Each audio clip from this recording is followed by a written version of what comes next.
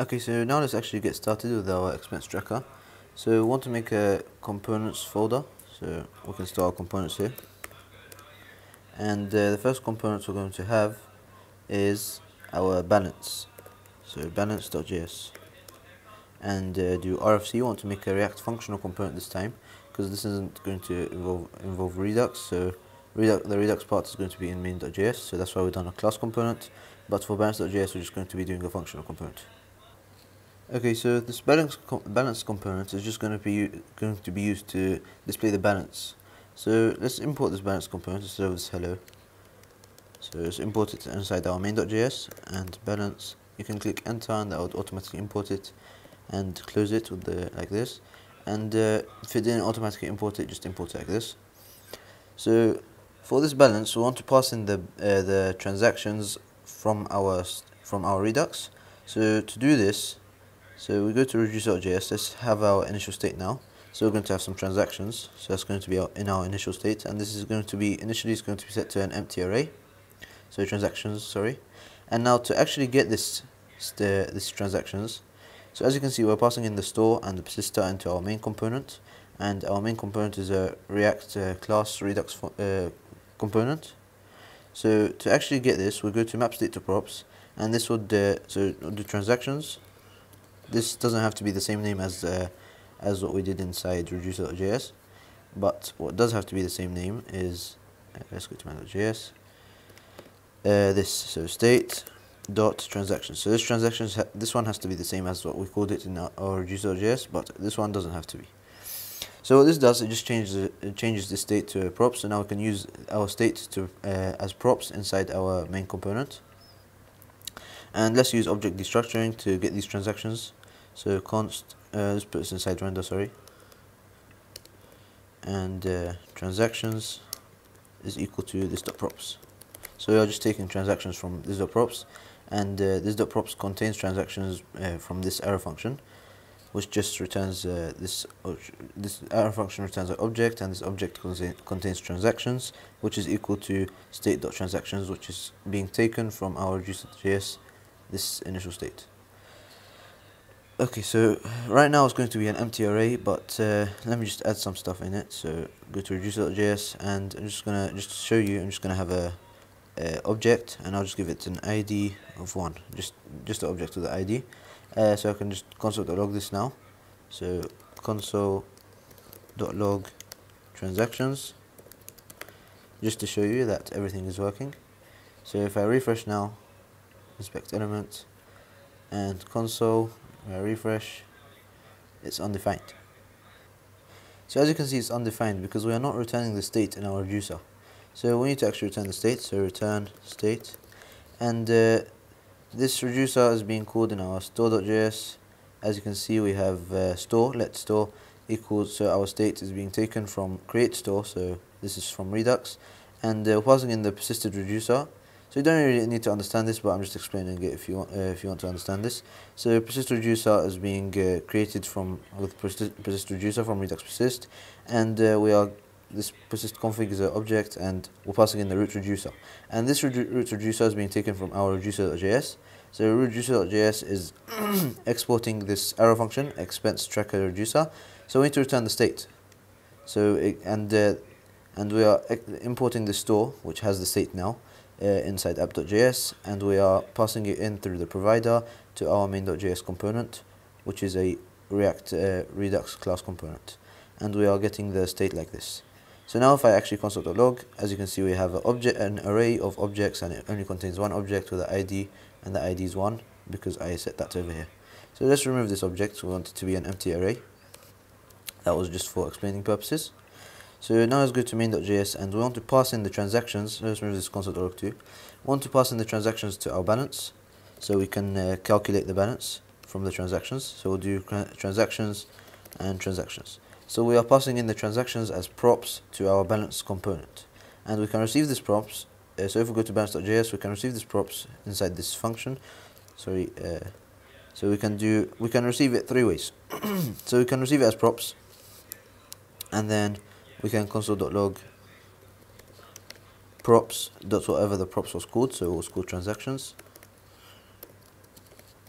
And now this is this should also console.log just like that okay.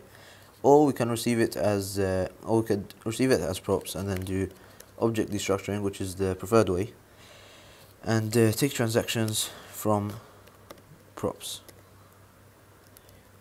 and then if I now we just need to console.log transactions instead of props.transactions now if I refresh it still works. And uh, the most preferred way is I can do object destructuring but not here and do it over here. So I'll just uh, do transactions. So instead of getting props and then doing object destructuring we'll just do it over here instead. And uh, so now if I just console.log transactions as you can see it's being console.logged perfectly and it's working. So now let's move this console.log and uh, display our transactions and now as you can see we have nothing because transactions is contains nothing so what we want to do now is go through all the transactions and then uh, get the amount of all of, of the sum of all of those transactions. So let's remove this. So what we want to do is go inside this functional component and uh, do const amount is equal to transactions dot map. So I want to go through all the transactions and then this would give us the transaction by one by one in an arrow function or a function, whatever you want. And then so I'm going to use the arrow function and then we can just uh, return transaction dot amount. So when we create a, a, transaction we haven't actually created it right now but when we create a, a transaction we're going to have an ID and amount and also the text of that transaction which is going to be like for example rent and the amount is going to be how much the rent was and the ID is just going to be an ID so we can so when we delete the transaction we can find that transaction by its ID and we'll have a unique ID so right now we're just uh, getting all the transactions and returning the transaction. Just to make this, uh, just to explain this better, we can do it like that as a function and return transaction, uh, return transaction dot amount. So that's basically what we're doing by removing these and removing the return. It just returns it automatically, and everything, all the and uh, the amount will be stored inside the amount. And now what we want to do is, uh, so now I want to get the total of these of this amount. So let's do const total is equal to amount dot reduce so we're going to be using the reduce function from uh, method from javascript and uh, this is going to give us a accumulator function so accumulation and the accumulator and uh, the amount or let's just call this item so it doesn't mess up with the amount that we already have so item. And then this would be an arrow function and it would return the accumulation the the sum already plus the item. And also this takes in uh, the initial value of the accumulation so 0 so basically this is going to be set to 0 at the beginning and then we're going to be going through all the, uh, the amounts and then the item uh, will add it to the ACC and at the beginning it's going to be equal to 0 and we'll just add the amounts one by one so now the total should have our total so if I do total over here display the total let's check it out it says not a number Oh, that's because we have a empty array inside transactions. So let's actually just have some dummy data for now. So let's go to reducer.js and have just a few objects. So ID, set it to 1. Uh, text, set it to just a string with some text. And we'll give it the amount. And we'll set that for now to 10. And do we have an error here? Oh, so I need to do this, a colon. And I'm just going to copy this. Wait, let me add a comma, and then I'll copy it. And just paste it like three times and then change the ID to 3, 4 the text keep it the same just mess about with these a bit okay so now it should return 20 plus 10 plus 15 plus 10 which would be uh, 55 so let me go to our Chrome refresh. So it says not a number because we are getting an error. And the issue is our old data has been cached. You might not get this error but I am. So if I console.log transactions transactions and I refresh as you can see it still has that one object that has an ID of 1 so so to fix this just uh, go to application. You might not find it here so click on this errors and you'll probably find application here. And we want to clear our site data so this will delete everything we already had. So now if I if I close uh, close this as you can see we have 55 which is the sum of all the amounts of our transactions. So if I go to reduce our, so 10 plus 15 plus 10 plus 20 so okay. So as you can see it's being displayed So what I want to do is just drop it inside the H1. So H1 and put a dollar sign as well and then put total. And uh, also I just want to put a H3 and put balance. Actually I'm going to change that to H4 make it a bit smaller.